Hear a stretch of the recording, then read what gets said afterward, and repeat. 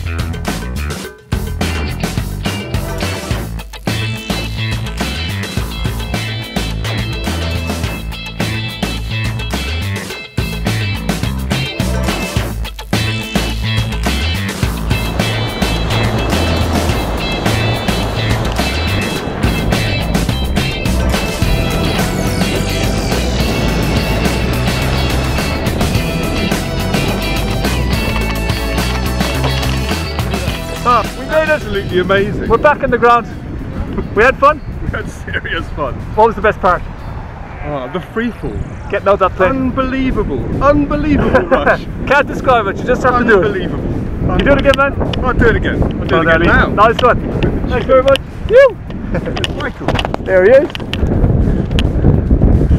Sweet.